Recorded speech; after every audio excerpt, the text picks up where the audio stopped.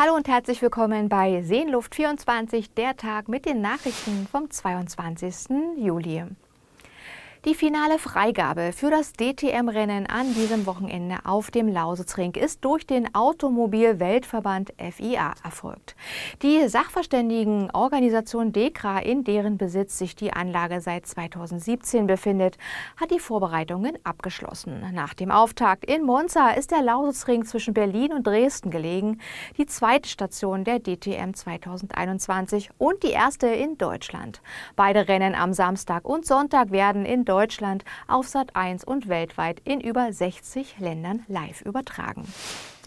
Die Sanierung des Bahnhof Lauchhammer führt für einige Fahrgäste zu einer deutlichen Verschlechterung. Jetzt steht sie, die Personenbrücke über die Bahngleise am Bahnhof Lauchhammer West. Leider nur nicht behindertengerecht. Die Stadt Lauchhammer wies bereits 2019 die Deutsche Bahn darauf hin, dass aufgrund der Gegebenheiten eine behindertengerechte Ausstattung dringend notwendig ist.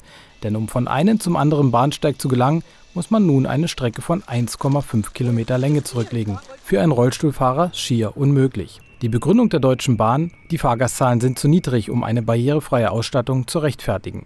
Es stellt sich die Frage, ob es heute überhaupt noch zeitgemäß und angemessen ist, solche Entscheidungen von Fahrgastzahlen abhängig zu machen. Eine Unterschriftenaktion für eine barrierefreie Nachrüstung ist bereits in Vorbereitung.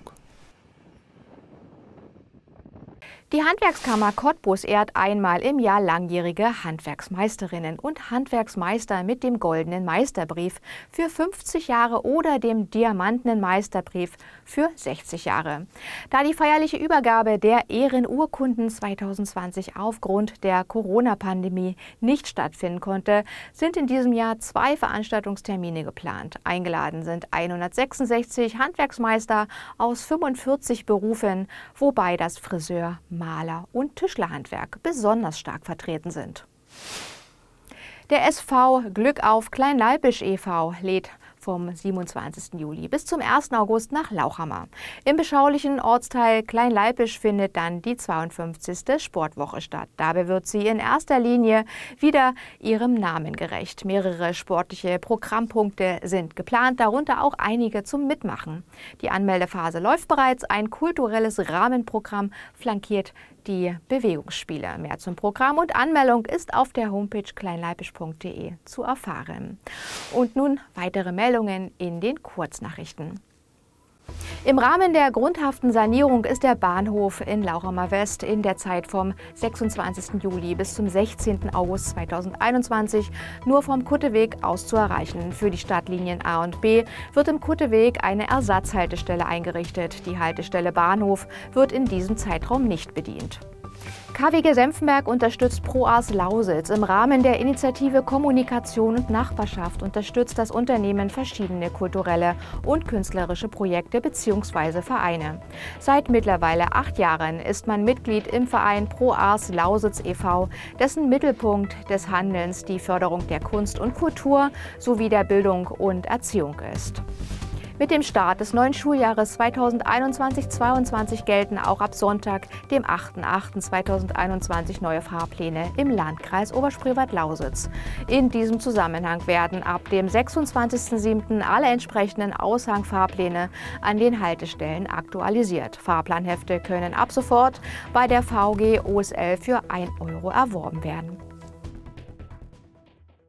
Die Überbrückungshilfe 3 für von der Corona-Pandemie betroffene Unternehmen wird um drei Monate verlängert. Über die bisherige Regelung hinaus können antragsberechtigte Unternehmen mit der Überbrückungshilfe 3 Plus nun auch Personalkosten, die sogenannte Restart-Prämie für Mitarbeiterinnen und Mitarbeiter abrechnen, die aus der Kurzarbeit zurückgeholt oder neu eingestellt werden. Förderzeitraum für die vierte Phase ist Juli bis September 2021. Antragsberechtigt sind Unternehmen, Solo-Selbstständige und Freiberufler aus allen Branchen sowie größere Unternehmen mit bis zu 750 Millionen Euro jährlichem Umsatz. Und jetzt zu den Polizeimeldungen. Am Mittwochnachmittag gegen 15 Uhr kollidierten ein Pkw bei Schwarzbach, ein Kleintransporter gegen 21.30 Uhr auf einer Landstraße bei Karlau und am Donnerstagmorgen gegen 5 Uhr ein Pkw bei Dolinchen mit Rehen. Die Autos blieben mit Schäden zwischen rund 1.000 und 2.000 Euro weiterhin fahrtüchtig. Um die verendeten Tiere kümmerte sich der jeweils zuständige Jagdpächter. Nach einem Bürgerhinweis konnte das vermisste 13-jährige Mädchen aus Lauchhammer am Mittwochnachmittag gegen 15 Uhr gesund am Senftenberger Bahnhof angetroffen werden.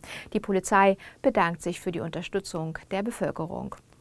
Das waren die Nachrichten und nun werfen wir noch einen Blick auf das Wetter.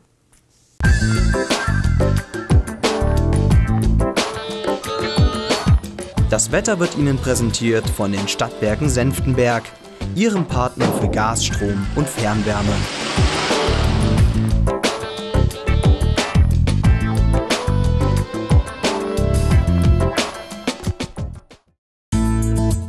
Am Freitag ist es von morgens bis zum Nachmittag überwiegend dicht bewölkt und die Temperaturen liegen zwischen 16 und 25 Grad.